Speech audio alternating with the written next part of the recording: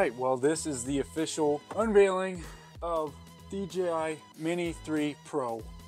Oh, that's so sick. All right guys, so I went with the DJI Mini 3 Pro for a couple different reasons and I'll get into that shortly. First, let's dig it a little bit deeper and actually see the drone itself. I'm so pumped. So those of you who haven't been to my channel before, I actually, I had a DJI Mini 2 and I just sold that yesterday, crazy enough. Uh, I've been looking to upgrade for a little while now uh, and I'll go into a little bit of why I wanted to upgrade, what made me choose this one, all that good stuff. Man, that is sick. Oh, that's sick. All right, so this, this is the drone itself. Let's get into it. Break the whole thing. It definitely, it feels bulkier. They, they weigh the same, the Mini 2 and this one uh, both weigh the same, which is really cool. Man, that is nuts. So, that's a heck of a gimbal guard. it looks like a alien spacecraft. All right, that is sick. This off the camera. Wow, that camera is a lot smaller than I had actually thought it would be. Crazy enough, like it's bigger than my last one still, but I, I had anticipated it being like a little bit thicker, I guess. That is awesome. And as you can see, there's sensors everywhere. I think even on the, yeah, even right there on the back. That's nuts. It's weird because like, oh, that's different. Oh, okay. So to open it, just bam, bam. The other one was like, whoosh, whoosh. and this, I'm guessing, yep, just goes forward. Well, that's sick. Look at that. It, it seems, I think it's wider. I think it's got longer arms than the last, um, than the other one too. So that's pretty crazy. Awesome. Yeah, you got same place for your battery, all that good stuff. But it looks like you can actually, that's how you pull it out. That's nuts. It won't just pop out. You have to pinch these side things. Bada bing, bada boom. Light work. You have a SD card slot. You have the charging port, all that good stuff. That is awesome. The camera is big. I'm not to lie. I just thought it would be bigger. Um, and that was one of the many features that I, I liked about this. So guys, now let's get into, wait, shoot, there's still more. Still a couple more things in the box. Let's get through it. Obviously where the drone goes. Ah! Ah! Okay, so this is where all your cords go for connecting the remote to your phone or tablet, whatever you use. I think a charger cord at least. Go! Nice, charger cord.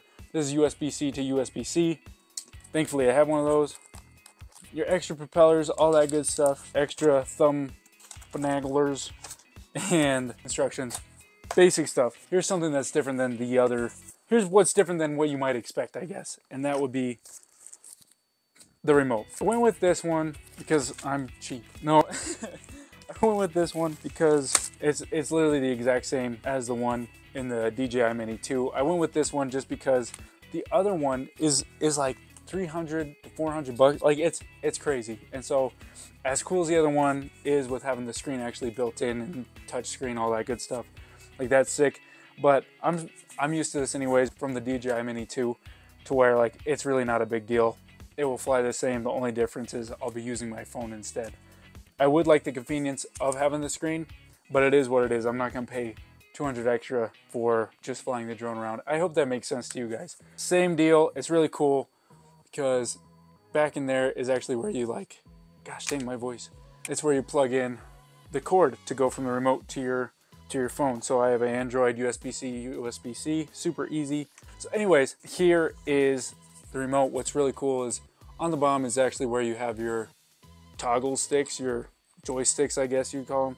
Uh, yeah, pretty sick. And then you can just charge the drone from down there.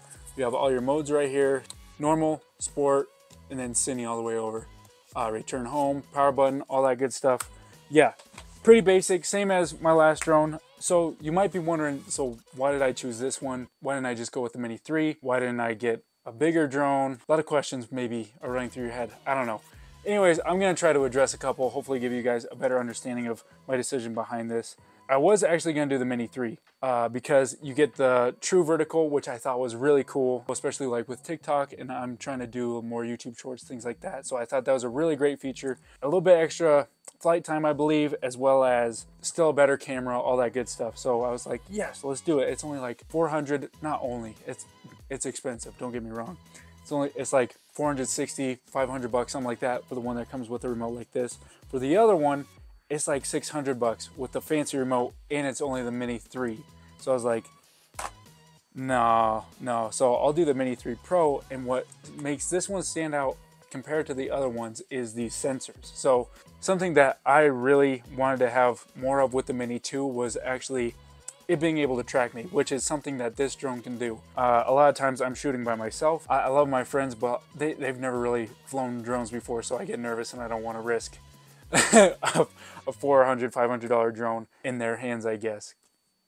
I love you guys, I'm sorry. Anyways, so that's what's nice about this is it has active tracking as well as these sensors will actually prevent it from hitting objects in the way. So you can like be running through a forest or whatever, or you can be riding your bike through the hills. It doesn't matter, but it will catch whatever object is in its way, whether that's backwards or forwards. So I thought that was incredible. So once again, for less than the price of a Mini 3 with a fancy controller, I get this. Or for about the same price. I don't know, to me that was a no-brainer. Yeah, I've been meaning to upgrade for a while just because uh, no, I want that extra, I want that better quality. This has 4K at 60 frames per second, which the Mini 2 had 4K at 30 frames per second, or 1080 with uh, super slow-mo at 120 frames per second, which is absolutely mind-blowing. Look at the size of this camera.